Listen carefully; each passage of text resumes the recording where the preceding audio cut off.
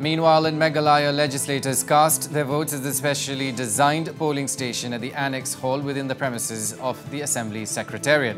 Familiar figures from the likes of Rajya Sabha member Dr. W.R. Kharlukhi, the Deputy Chief Minister Prestone Tynsong, South Shillong MLA Sanbor Shullai, the Speaker met Metbah Lyngdoh, former Minister and suspended Congress leader Ampareen Lyngdoh, Meghalaya Chief Minister Conrad Sangma, among others, cast their votes at the thematic Green polling station today.